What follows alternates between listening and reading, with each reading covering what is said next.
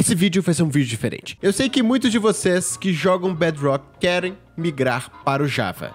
Muita gente aqui fica, nossa cara, se eu tivesse jogando no Java ia ser tal coisa. Nossa, os youtubers que eu mais gosto gostam de jogar o Java e todo mundo joga o Java. Nossa, como que o Java é melhor? Mas calma, Existem coisas que são muito boas no Bedrock também e que só tem aqui, não tem no Java. E eu gostaria de valorizar um pouco essa comunidade, de conversar um pouco sobre isso, mostrando sete coisas que só existem no Bedrock e que os jogadores de Java não têm. É isso aí. E já vamos começar exatamente em um topo de uma montanha. Sabe quando o jogador que tá jogando no Java, ele vai colocar um bloco? Vou até mudar meu modo de jogo aqui. E aí ele vem aqui em cima aqui, ó, bem aqui, bem na pontinha, tem que colocar o bloco assim, sabe? Então, ah, no Bedrock a gente tem uma vantagem muito boa em relação a isso. Ao invés de ter que ficar aqui, ó, pressionando o Shift ou no console fazendo é, aquele movimento para, bom, ficar nessa posição aqui, é só mirar para frente. Olha só aqui, é só mirar para frente, você não tem risco nenhum de cair no chão e isso não é possível no Java. Ah, cara, isso aqui é muito útil principalmente se você estiver fazendo uma construção bem no alto. Espera aí, agora sim, acertei. E, cara, isso aqui poupa muito a gente de morrer, né? Porque, fala sério, construir nas alturas é uma das coisas mais chatas e difíceis no Minecraft, ainda mais quando você tem que ir no Nether e ficar assim, ó. Aí qualquer coisinha que acontece com o seu shift, morreu. Outra coisa que só tem no Bedrock tem a ver com as flechas. Se você quiser fazer uma flecha com algum efeito, por exemplo, uma flecha venenosa, no Java você tem que colocar as flechas assim e colocar aqui, ó, a poção venenosa bem no centro, né? Então, ou seja, para cada oito flechas você vai precisar de uma poção, então para um pack de flecha você vai precisar de oito poções. Só que no Java isso é feito de uma maneira completamente diferente. Eu tô aqui com as poções, eu vou colocar elas aqui dentro, ó e olha só a mágica acontecendo. Pronto.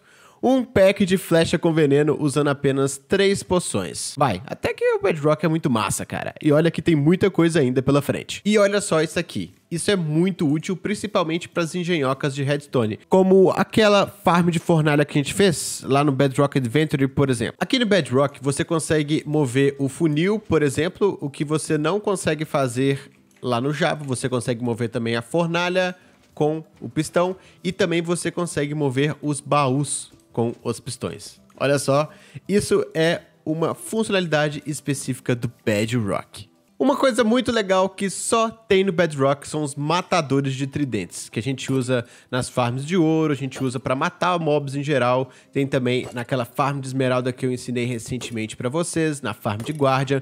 Enfim, a gente usa para matar mobs e isso aqui não funciona no Java. Isso é uma mão na roda, porque se você estiver usando uma espada com loot em 3, Cara, você consegue muito mais itens sem ter que fazer nenhum esforço. Só ficar lá em pé, olhando a farm matar todos os mobs para você. E sim, isso só tem no Bedrock. Outra coisa muito legal que tem no Bedrock e não tem no Java é que se você tiver aqui com uma pá de diamante com fortuna 3 ou qualquer item com fortuna 3 e quebrar uma plantação, seus itens vão duplicar. Eu usei isso naquela nossa farm de fungos do Nether e funciona muito bem. Então eu tô aqui com duas plantações que tem exatamente a mesma quantidade de itens. Eu vou quebrar essa aqui, ó, sem qualquer tipo de fortuna e aquela outra com fortuna pra gente ver quanto que é a diferença.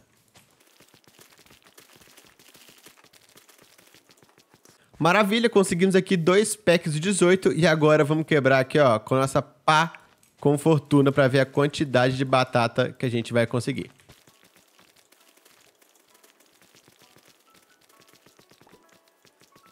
E olha só que diferença, a gente conseguiu 4 packs e 45, ou seja, o dobro de batatas porque a gente usou uma pá com fortuna. E essa questão com fortuna também funciona com o machado nas folhas. Eu vou quebrar aqui, ó, essa árvore, essa muda de carvalho escuro aqui, que é um dos blocos, uma das árvores mais chatas de conseguir muda, e a gente vai ver quantas a gente vai conseguir para comparar com a quantidade que a gente vai conseguir ali depois que a gente usar, ó, o machado de fortuna nessa aqui da frente. Então, vamos lá.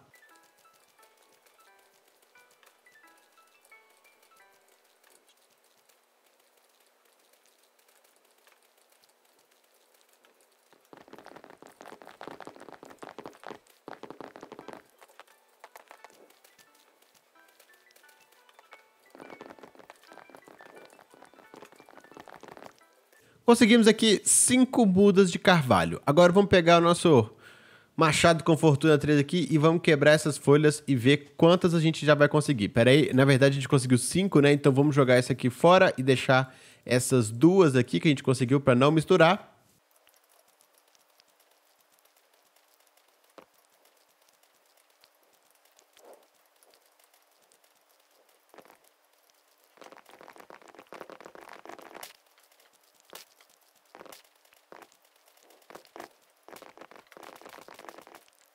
E olha só, com o nosso machado de fortuna a gente conseguiu quatro vezes mais mudas, além de gravetos e também uma maçã. Ou seja, você pode colocar a fortuna nos itens para conseguir mudas mais rápido ou outros vegetais muito mais rápido do que no Java Edition. A outra coisa que também só tem no Bedrock é esse sisteminha aqui muito legal.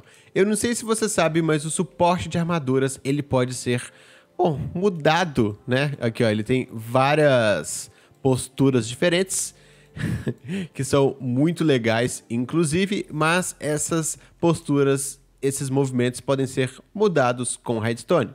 Por exemplo, se você apertar esse botão, nada vai acontecer, até porque já está na, na, postura certa. Agora, se você apertar esse botão aqui, laia, ele mudou a textura. Se apertar o próximo botão, pera aí, o próximo, ele mudou novamente. O próximo ele mudou, o outro ele mudou.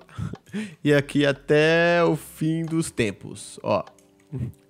Cara, isso aqui é muito legal. Eu não sei se você sabe, mas no Bedrock você consegue mudar a postura da, do suporte de armaduras com redstone. E isso aqui é específico do Bedrock, inclusive é muito legal. Tá, eu sei que não é muito útil, mas fala sério, isso aqui é muito divertido, dá pra fazer muita coisa legal, basta ter um pouquinho de imaginação. E por último, o que eu mais gosto do Bedrock é o fato de ser multiplataforma. No Java, você só pode jogar no PC.